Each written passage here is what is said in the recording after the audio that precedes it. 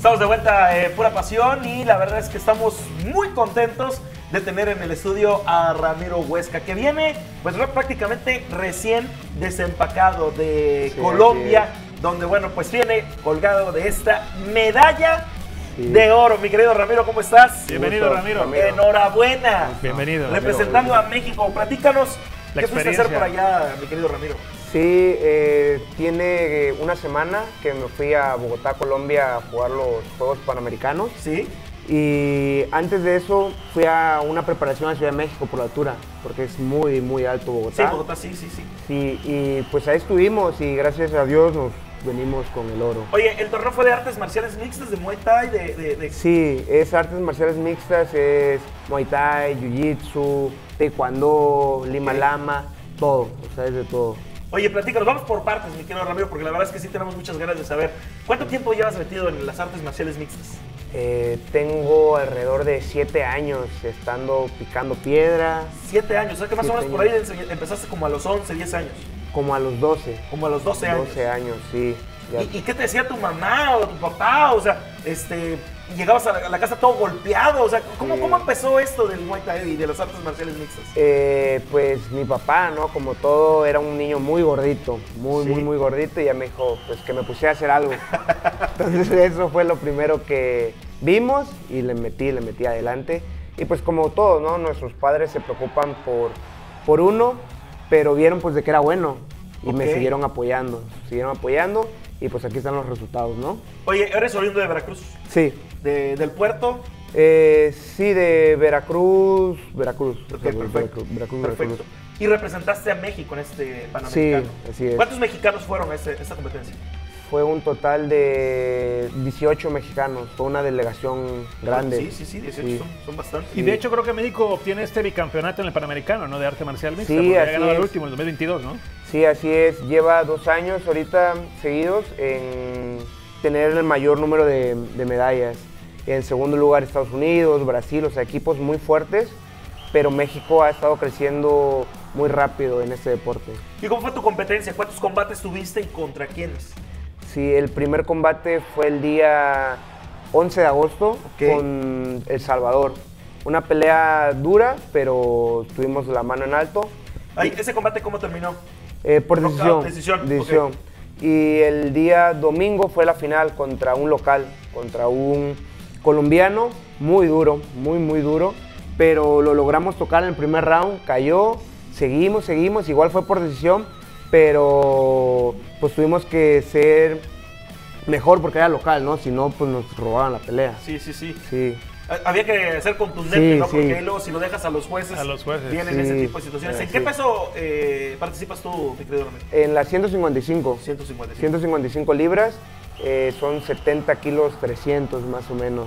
En la categoría junior avanzado. Es- Oye, y fíjate, a ver, no sé si nos puede apoyar alguna cámara, señor productor, porque Ramiro todavía viene con las Sí, huellas de la golpes, sí, batalla, o sea, sí, es increíble. Los, los moretones ahí en la frente, Sí. ¿no? Justamente. ¿Cuánto tiempo te demoras más o menos en recuperarte, Ramiro? De un combate. Bueno, te aventaste dos prácticamente Sí, seguidos, ¿no? Unos 15 días así, sin hacer nada, nada. Las manos, o sea, a mí lo, ahorita igual lo que me duele son las manos de estar golpeando. Sí. Manos y una que otra lesión, ¿no? Pero sí 15 días sin hacer nada y con eso ya puedes seguir eh, tu proceso. De, ahorita viene ya el mundial. Ok, ¿cuándo sería? eh, a finales de, de noviembre Ok. en Abu Dhabi.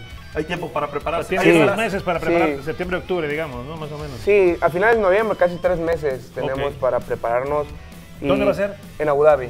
Abu Dhabi, sí, Sí, también es un viaje entonces, largo.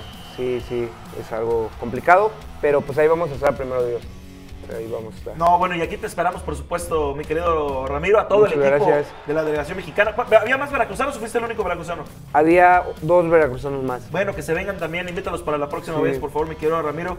Aquí este, pues es su casa. A nosotros nos da mucho gusto ver a veracruzanos, a mexicanos triunfar de esta manera. Eh, aquí está el espacio para que la gente los conozca, para que los conozca, para que sepan de su carrera, de su trayectoria y, y con el impulso, por supuesto, de seguir apoyándolos eh, en este deporte tan, tan, pero tan complicado como es las Sí. artes marciales mixtas, ¿no? Sí, la verdad que sí. ¿Tienes algún tú, algún alguien que admires en este deporte?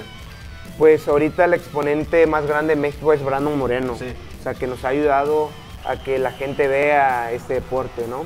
Y pues ha visto, o sea, vean de 20 competidores, 12 trajeron medalla, ¿no? Entonces se ha visto un crecimiento muy grande en el deporte en México gracias a él, ¿no? Bueno, pues, es- ahí está parte de las declaraciones. Este, y te esperamos aquí, mi querido Ramiro, para que cuando eh, vayas al, Mundial, ¿no? Que venga. Sí. al Mundial. Y te esperamos de regreso para ver si nos traes algo ahí. Sí, sí, no, claro. No, bueno, pues Un llaverito o algo ahí de. No, de seguramente con, con un futuro muy promisorio porque te ves muy adelante en este mismo disciplina, ¿no? A los Sí. 15 años en tu, en tu vida. Sí, sí. Tu te- objetivo. Sí, ahorita la meta es el mundial, ¿no? Claro. Primero no me visualizo en Claro. otro, en otro momento, pero sí, como todos que practican ese deporte, el sueño es UFC, ¿no? O sea, Claro. que es lo mejor Llegar lo mejor. top ahí. ¿Qué tan difícil Sí. es para, para un mexicano llegar a ese, a ese nivel de la UFC, mi querido?